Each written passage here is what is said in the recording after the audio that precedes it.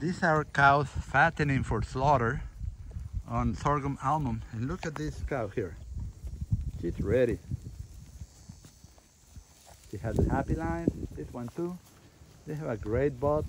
They have fat on the insertion of the tail and that's how you know that a cow will give you a pleasant experience when you eat the steaks.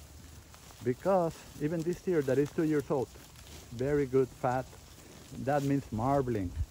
And we need marbling so the steaks are juicy. juicy. This is another one here. Look, she's finished. So that's how you know when an animal will give you good steaks.